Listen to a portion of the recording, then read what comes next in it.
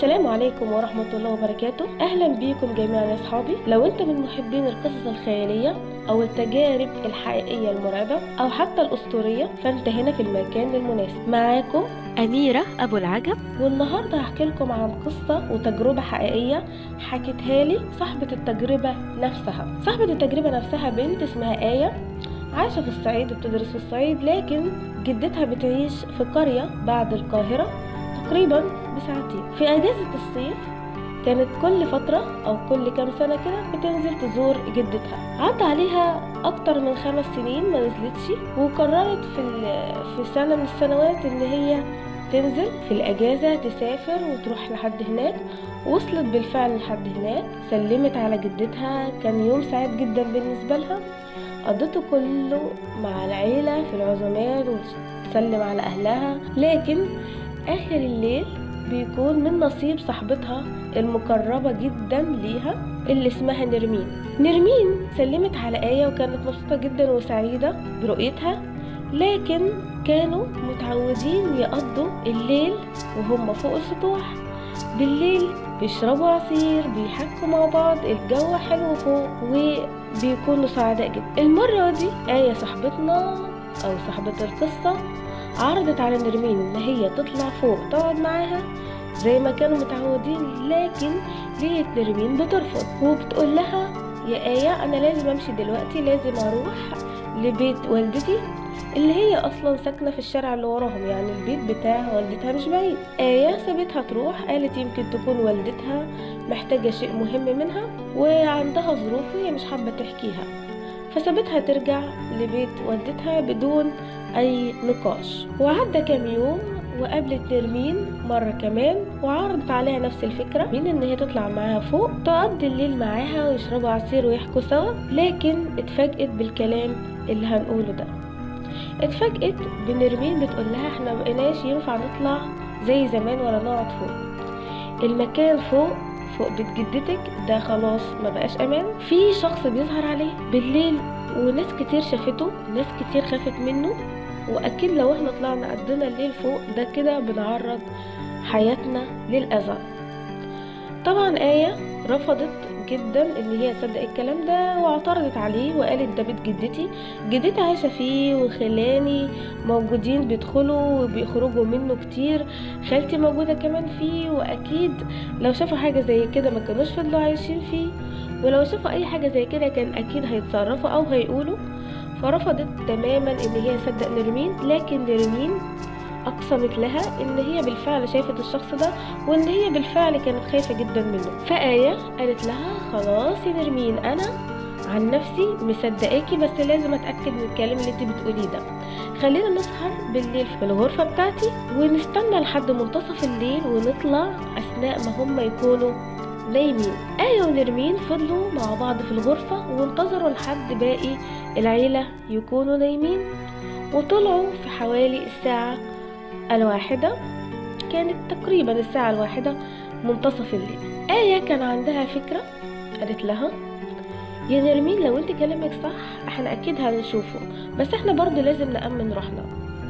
إحنا هناخد مع بعض كاسيت والكاسيت ده يكون في صورة البقرة جاهزة على التشغيل بحيث إن أول ما يظهر الشخص ده قدامنا أو أول ما نشوفه إحنا هنضغط على صورة البقرة فطبيعي أول ما يسمعها هيجري وهيخاف ويختفي ومش هيظهر مرة تانية.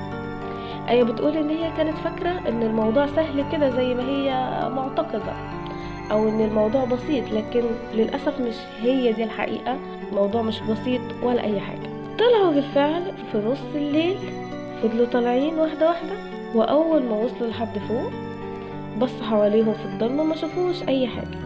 لاحظوا حركة حركة سريعة في المكان لكن بعد ثواني ظهرت لهم قطة فضحكوا من الخضة بتاعتهم. كان الموقف جدا مضحك بالنسبة لهم وآية قالت لنرمين شفت نرمين مش أي حاجة حتى الحركة اللي ظهرت دي عبارة عن قطة مفيش أي حاجة. يلا بنتي ننزل مفيش أي حاجة. أنت كل اللي بتسمعيه ده أو اللي تشوفيه ده مجرد تهيؤات. وهما نازلين نرمين حلفت لها وأكدت لها إن هي شافته بالفعل وإن مش هي وبس ده في ناس كتير شافت الشخص ده. فاتفقت معاها آية إن هي هتكرر الحركة دي والموقف ده تاني يوم. وبالفعل تاني يوم استنوا لحد منتصف الليل مرة تانية واتأخروا كمان زيادة. فطلعوا في حدود الساعة اتنين اتنين ونص. طلعوا الساعة اتنين ونص وكان في ايديهم الكاسيت. آية بتقول أنا كنت بقول لنرمين يا نرمين تعالى نطلع. مفيش حاجة ما تخافيش بس هي من جواها كانت خايفة جدا وقلقانة. ولما طلعوا هما الاتنين لحد فوق فعلا نرمين اتفاجئت بظهور الشخص ده. وآية ما صدقتش عينيها. آية لما وصلت لحد فوق وكان في إيدها الكاسيت ما كانتش مصدقة إن نرمين هيطلع كلامها صح. شاف الشخص ده نرمين من الخوف نزلت تجري فما قدرتش تجري اتشنكلت وقعت على السلم وكانت بتبكي وآية رجليها ما اتحركتش. عينيها ما قدرتش تتحرك فضلت واقفة متثبتة ومتسمرة من الخوف بص على الشخص ده اللي كان بيقرب منها شوية بشوية. الموقف كان مرعب جدا مش قادرين يندهوا على حد. وحتى لو ندهوا هم عارفين إن محدش هيسمع لأن خلاص الكل نايم. لقيت الشخص ده بيقرب منها وبيشاور لها على شيء في موجود في الأرض. هي مش قادرة تحدده ومش قادرة تشوف إيه الشيء ده. بعد لحظات نرمين وآية ابتدوا يتمالكوا أعصابهم نرمين قامت وابتدت تجري تنزل على السلم وآية ما قدرتش تتحرك فقررت إن هي ترمي الكاسيت بتاعها على السلم علشان هيعمل خبطة قوية جدا. فرمت الكاسيت من على السلم نزل فعلا قدام أبواب الغرف اللي موجودة تحت هم أهلها يسمعوا الخبطة دي ويخرجوا علشان يشوفوا إيه المشكلة. وبالموقف ده والتصرف ده قدرت إن هي تنقذ نفسها وتنقذ نرمين من الشخص ده اللي أول ما سمع صوت أهلها تحت اختفى. قرروا إن هم خلاص ما يطلعوش فوق تاني وقرروا كمان ما يحكوش لأي حد أي حاجة. وطبعا العيلة لما سألتهم إيه اللي خلاكم تطلعوا فوق قالوا عادي إحنا كنا طالعين نسمع أغاني ونحكي فوق عادي مفيش أي حاجة ونشرب عصير لكن آه نرمين وقعت على السلم واتشنكلت وبس. هو ده الموقف ما حكوش السبب الحقيقي لطلعهم فوق. بعد كام يوم جدتها قررت إن هي تاخدها تزور الحسين والسيدة زينب ويقضوا يوم حلو كده أهو. في الشعائر الدينية الجميلة اللي هي كانت بتحبها جدا. بس المفاجأة كانت في رجوعها. بعد ما قضت اليوم كله عند السيدة زينب والسيدة نفيسة وفي الأسواق هناك روحت بالليل هي وجدتها وخالتها واتفاجئت إن باب البيت اللي هي كانت قافلاه مش مقفول بنفس القفلة هي هي. بالمناسبة كان بيت جدتها ده من النوع الطوب الأبيض يعني آه الباب ما بيتقفلش مثلا بقفل وترباز زي مثلا إيه؟ زي مثلا أي بيت عادي. لا ده بيتقفل كده بنظام حديد بيتشبك جوه بعض. فتحوا الحديد ودخلوا اللي لقيوه أصلا شبه مفتوح. دخلت البنت في الأول اللي اسمها آية واكتشفت إن في حد قاعد جوه الأوضة. الأوضة مفتوحة في حد قاعد جوه الأوضة متغطي بملاية وحاطط في الأرض شموع حواليه. مش عارفة إيه ده؟ ندهت بسرعة جدتها من برا لكن مع التركيز والصوت والمفاجأة اكتشفوا إن اللي موجودة دي واحدة ست والست دي واحدة قريبتهم تعتبر عمة أمها.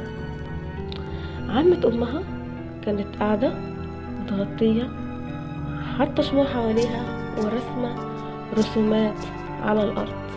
البنت لما شافت الست دي اللي هي قريبتهم واللي هي تعتبر عمة والدتها قررت إن هي ما ترجعش تاني المكان من كتر خوفها طبعا جدتها لما اتفاجئت بالمنظر ده ولما آه، شافت بنفسها ده زعلت جدا واجهتها باللي هي عملته. وطبعا الست أنكرت قالت لا ما فيش أي حاجة.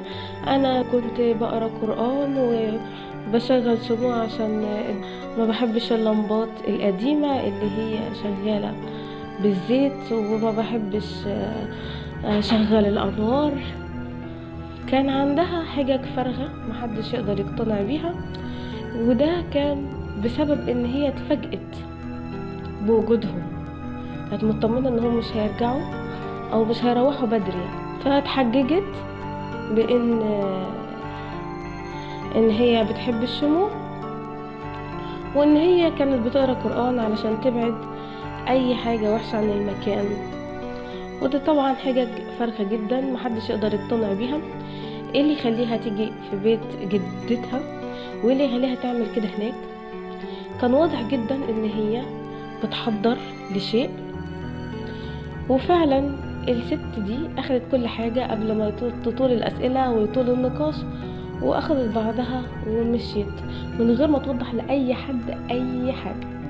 لأن كان كل الأمور واضحة هي بتحضر حاجة سيئة لأصحاب المكان علشان يتعرضوا لمشاكل وتستغل عدم وجودهم أو هي بتشتغل في السحر أو الحاجات دي. ومش بتلاقي مكان تشتغل فيه غير في بيت جدتها. لما تكون جدتها مش موجودة بما إن هي عايشة لوحدها. لما الأولاد رجعوا اللي هم خلال آية جدتها حكت حكت لهم على كل حاجة. فاتصلوا بشيوخ يعرفوهم كويسين ويقدروا يحلوا المشكلة دي. فالبنت في التوقيت ده قررت إن هي تحكي لجدتها عن الكلام اللي سمعته من نرمين. قالت يا جدتي أنا سمعت من نرمين إن في شخص بيظهر فوق والناس كتير بتخاف لما بتشوفه وإن هو السبب اللي خلانا ما نقدرش نطلع فوق وفي الآخر إن أنا فعلا شفته. الشيوخ فضلوا يقروا في المكان يوم واتنين وتلاتة لكن آية ونرمين كانوا مش قادرين يناموا من الخوف والكوابيس اللي كانوا بيشوفوها طول الفترة دي. واللي زادت أكتر بعد ما آية شافت الست دي وهي بتحضر للجن في بيت جدتها بدون علم. جدتها. البنت سافرت رجعت تاني الصعيد وكانت بتتمنى إن كل المشاكل تزول من المكان وكمان من جواها. قعدت فترة تشوف أشياء غريبة تظهر لها أشياء غريبة وشافت أكتر من شيخ لأن الشيوخ لما جم حكوا لجدتها كل حاجة. كل حاجة عملتها الست دي. الشيوخ قالوا لجدتها إن الست دي كان كل هدفها إن بنات العيلة دي أو بنات جدتها ما يتجوزوش. وإن يحصل مشاكل في بيت جدتها دي. وتتعرض لأمراض كتير. وإن الست دي بتشتغل في الموضوع ده وتأذي ناس كتير. وإن الأذى المرة دي هيطول كل البنات بما فيهم آية صاحبة القصة اللي بتحكي لنا عن الموضوع ده. الموضوع انتهى لكن تأثيره إلى الآن ما انتهاش. تتمنى من ربنا إن يزيل أي شيء وحش اتعرضت ليه. لكن ربنا لوحده هو اللي عنده حل للمشكلة دي. وبكده تنتهي قصتنا أو التجربة الحقيقية اللي سمعتها من الأستاذة آية. يا ريت كلنا ندعي لها إن ربنا يفك عنها الأذى ده.